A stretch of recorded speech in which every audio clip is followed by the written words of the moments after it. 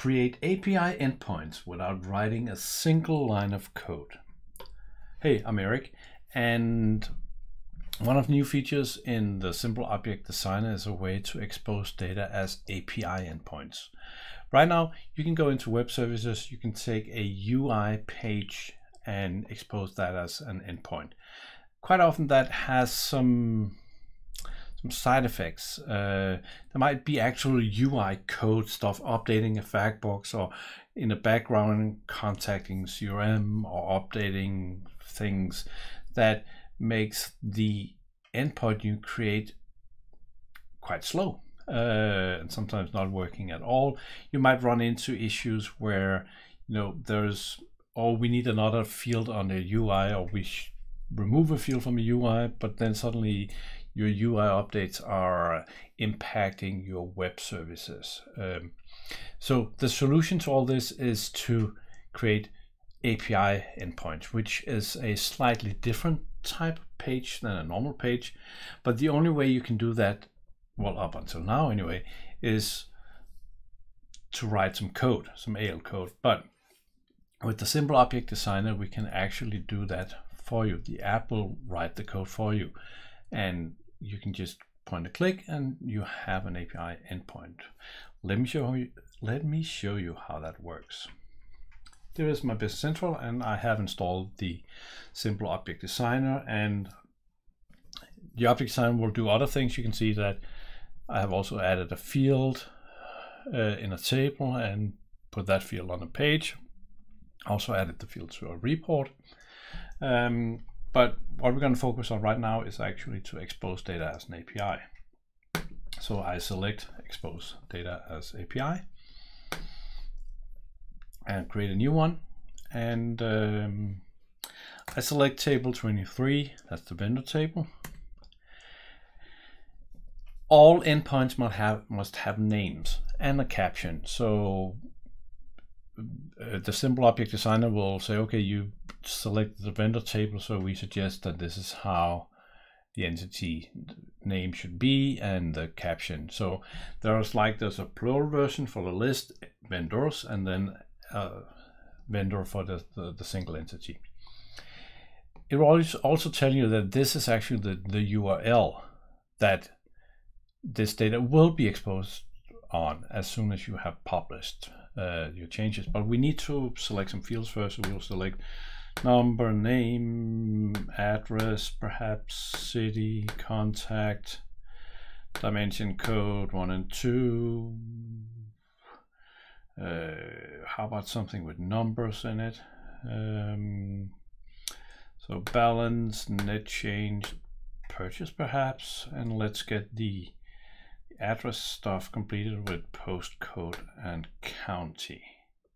So those are fields. Uh, I could bulk select if I wanted to, but I don't want to at this point. That's it. I close this one. I close this one. Come on, BC. Uh, I close this one and I select publish.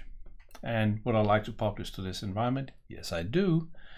Um, I could answer no, and then I will just get the app that was generated, get that downloaded. Um, so your customizations are now the deploying, check the deployment here. And this is the deployment and we can see I have done this couple of times. I can press F5 to see that the deployment is still in progress of my changes. And I can keep pressing F5 and then at some point, very soon hopefully, this is actually gonna be done. Very exciting here. There we go, completed. So let me now go to Postman where I already pasted in the URL. That's the magic of videos. Uh, and we can do this. Try to call this one. Sending request. Oops, sorry, let's actually go to this one. And we can see that now we have data out of our endpoint. So we selected number, name, address, one, two, city, contact, global dimension, balance, net change, purchase, postcode, and county. We didn't select country. So we could go back and go back into this guy and say, oh, by the way, um, country region code, we need that also. So yes, that's done. So we change that, now we publish again. Same procedure.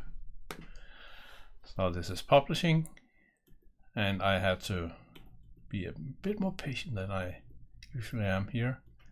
And we can see that every time we publish, our changes are incremented by the version number of our of our changes are incremented. Um, so that happens automatically. We still get everything downloaded. So all the versions are there. So we can, if we do work with the simple object designer on a sandbox, then we can take the app file that we have produced and just upload that manually to a production environment. Um, and again, this takes a few seconds depending on the mood of the Microsoft server receiving it.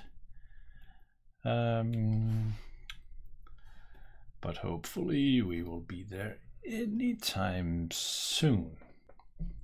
So what is generated, I can I can talk to that for a second, is that it it's writing the code as if you were to ask me, hey Erik, can you write me an API endpoint with these fields for the vendor table?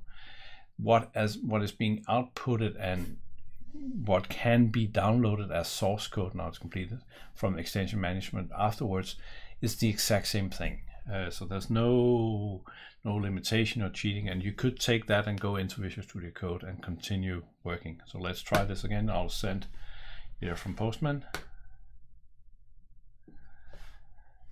and we can see that now we have the country in our API endpoint also.